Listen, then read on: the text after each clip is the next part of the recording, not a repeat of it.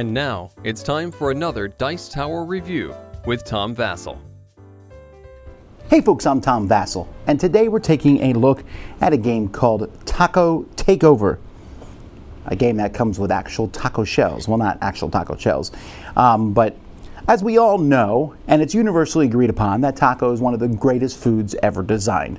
The idea of putting a, bunch of food in a crunchy shell is just mm, very delicious and terrific and wonderful, and they should be eaten all the time. Uh, but whether you agree with that or not, the idea of a game about building tacos, I think, sounds interesting. This is obviously a game for kids, a speed style game. Let's take a look.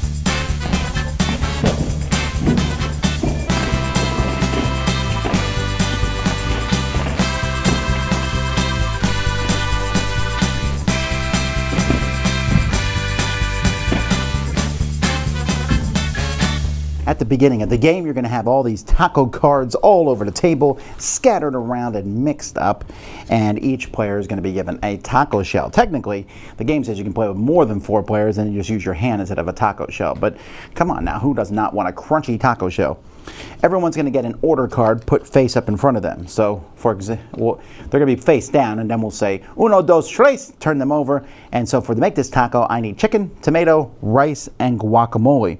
So as soon as we do this, we're going to turn them over and we're going to race and basically find things all at the same time. Oh, I need tomatoes. So I just put the tomatoes in my thing here. What else am I looking for? Chicken, rice, and guacamole. Oh, there's chicken. Okay, and well, no, no, no, no, no, no. Lots of jalapenos and lettuce, hot sauce.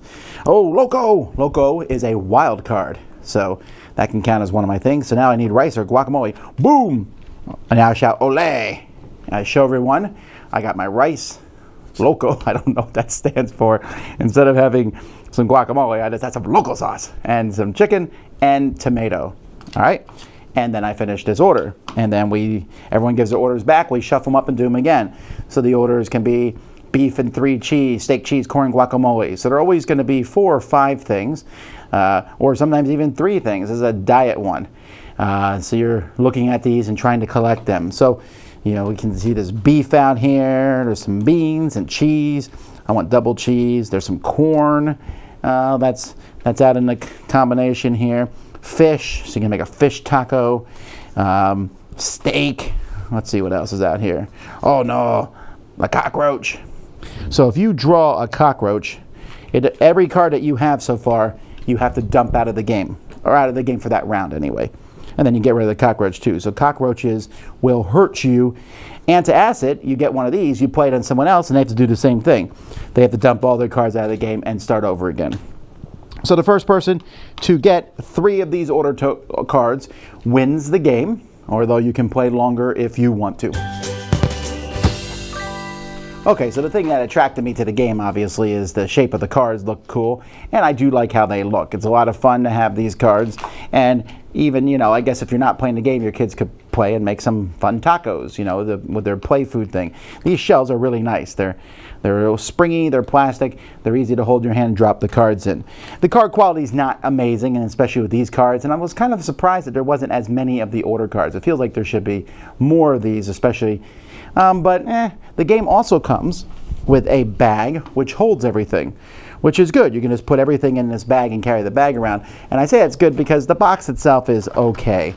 Um, the box has spots here for the cards, but because of the nature of how the box is, I ended up having to dump it each time just to get the stuff out. And this box itself has the hole in the lid nonsense, so the box is kind of worthless at this point. But uh, still, it has a very bright, colorful, vibrant look. Well, there you have it. That's the game itself. Components, good. Game, it's your typical speed game. Honestly, with some kids, this is what I would do. I take out the antacid cards. I just hide them somewhere. I leave the cockroach cards in because you're like looking around, oh, I found a cockroach, got to empty your shell. That's just luck. But the antacid thing can be a little mean, right? Because I have to throw it on, on Johnny, and Johnny hasn't even got a a order card yet. It just feels mean that, that Billy keeps doing that to him when he should be doing it to Susie, who's about to win the game. The game is lucky, obviously, as you flip the cards over and you're looking for them, but it's fast, furious fun. Is it fun for parents? Meh, maybe once or twice. a, a, an entertaining game to play with your kids, but kids are going to like it. They're going to like it because of the theme, because again, who doesn't like tacos?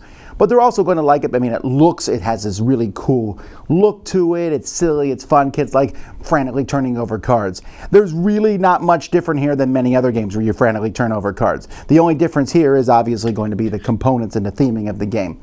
And I think that's kind of the selling point of it. So if you like the idea of a food thing, and like I said, you could even double as a toy for kids to play with. And I think this works for elementary style. Kids They're going to have fun collecting the taco ingredients. It might even promote a little bit of reading. Uh, I don't know if I'd go that far to say that, but an entertaining game for kids that is Taco Takeover. Dice Tower Judgment, kid approved.